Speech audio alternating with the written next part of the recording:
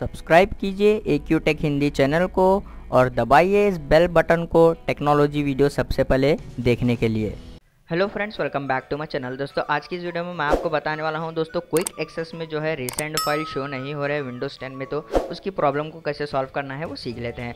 दोस्तों, सबसे पहले जो है आपको एक्सप्लोरर ओपन करना है। उसके बाद, दोस्तों, आपको जो है यहाँ पर क्विक एक्सेस के ऊपर राइट क्लिक करके इसके ऑप्शन के ऊपर क्लिक कर देना है।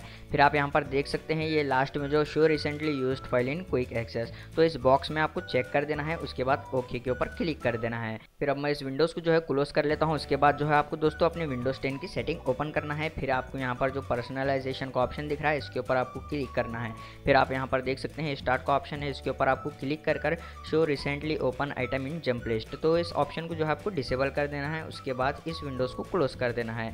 फिर से दोस्तों, आपको जो है विंडोज़ एक्सप्लोरर ओपन करना है अपने पीसी में। उसके बाद आपको फिर से सेम क्विक एक्सेस के ऑप्शन में जाना है, जाने के बाद फिर आपको यहाँ पर ऑप्शन देखने को मिलता है open each folder in the same window तो इसको जो है आपको क्लिक कर देना है। ये ऑप्शन को जो है आपको सेलेक्ट करना है।